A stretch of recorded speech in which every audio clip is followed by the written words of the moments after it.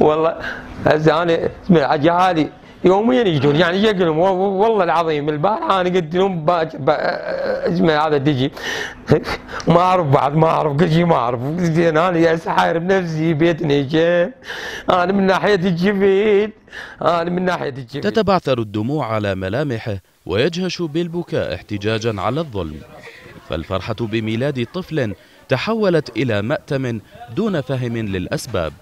فما الذي حدث؟ الجميع بحاجة إلى سماع التفاصيل التي أدت إلى وفاة الطفل وبعده بساعات الأم. شعور بالخسارة والإحباط وخيبة الأمل تلك التي يعيشها ذلك الأب المكلوم الذي وجد نفسه فجأة مسؤولا عن خمسة أطفال. هذا ما حدث داخل مستشفى الكفل في بابل أحداث سريعة وغير متوقعة بمعنى أن حدوثها لم يكن مسبوقا بإشارات أو إنذارات معينة مثل الموت.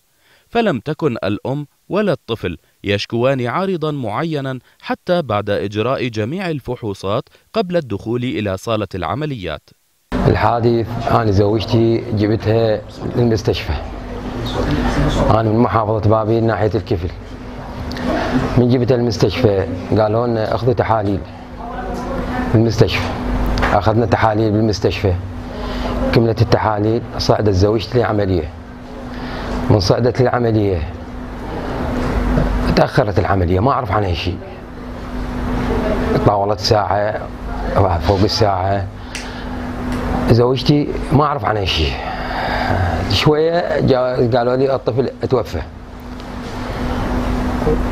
قلت أنا مضحي بالطفل بس اريد زوجتي. قالوا زوجتك الحمد لله والشكر ما بيها شيء وعلى على حسب الأصول سوينا لها اسمها عملية. بال ورا شوية شفت ضجة صارت بالمستشفى ما أعرف شنو السالفة. الدكاترة كلها التمت الجو يعني شوية تخربط عليه. قالوا ما حد يعني حتى قال لي هذا زوجتك هذا ماتت ما حد قال لي. والله لحد ما انتهى الدوام. وما أعرف من الساعة ب 11 للساعة ب 2 أنا ما أعرف كل شيء. ما قالوا لي.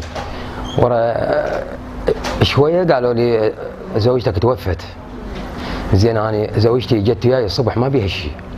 ونسولف أنا وياها وبالمراجعات عندها سونارات وتحاليل وكاملك. على حسب الأصول.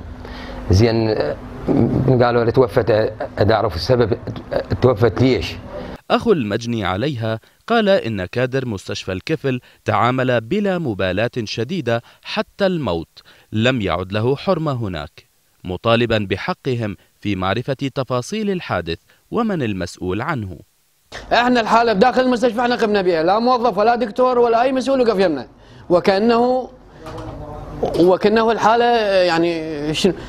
يعني إحنا ما استعلمنا بالبنيه مخابرين الشرطة جت الشرطة جت دوريات. شنو أنتم تخابرون الشرطة تجي دوريات؟ شكو. إحنا نطالب بحقنا. وين ما يثبت حقنا عند من الدكتور عند الدكتوره عند أبو البنج عند أي إنسان. داخل كادر مستشفى شفل. يثبت عليه حق. من خلال الأمور القانونية إحنا نطالب بحقنا. الموت والحياة بيد الله. ونعي جيدا أن لكل أجل كتاب لكن هذه العائلة تتحرى عن أسباب الوفاة. نحن جميعا بانتظار رد وزارة الصحة ومستشفى الكفل بالتحديد لتوضيح أسباب هذا الإهمال المتعمد وعدم احترام الإنسان حتى عند موته. هم مسولفين شلون صار هذا؟ ما تعرفين